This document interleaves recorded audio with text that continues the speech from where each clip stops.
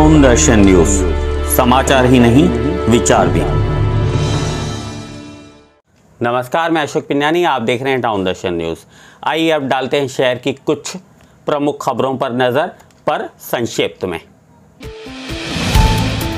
उल्लासनगर की एक तेरह वर्षीय बच्ची के साथ बलात्कार के मामले में उल्लासनगर पुलिस ने 27 वर्षीय युवक रिजवान रशीद शेख को बुधवार देर रात गिरफ़्तार किया है। इस मामले की आगे जाँच उल्लासनगर पुलिस कर रही है।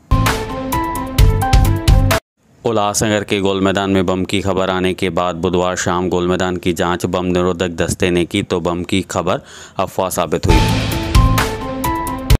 उल्लासनगर चार कृष्णानगर परिसर में बब्बीश वादुमल आहूजा की माँ किराना का दुकान चलाती हैं, जहाँ आयुष राय व बाबू पहुँचे और साढ़े पाँच सौ रुपये चीने और धमकी दी। आहूजा की शिकायत पर विट्ठलवाड़ी पुलिस ने आयुष राय व बाबू के खिलाफ मामला दर्ज किया है। इस बात से नाराज़ दोनों ने किराना दुकान में तोड़फोड़ भी की।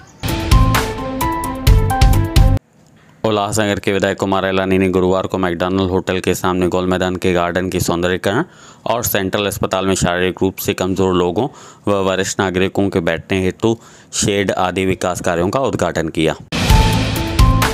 कैंप नंबर तीन के संत बाबा थैरा सिंह दरबार के हॉल में साईं पार्टी नेता जीवन इदनानी पूर्व महापौर आशा इदनानी नगर सेविका इंदिरा उदासी की तरफ़ से गुरुवार को वैक्सीनेशन कैंप का आयोजन किया गया जिसका लाभ आम जनता ने लिया।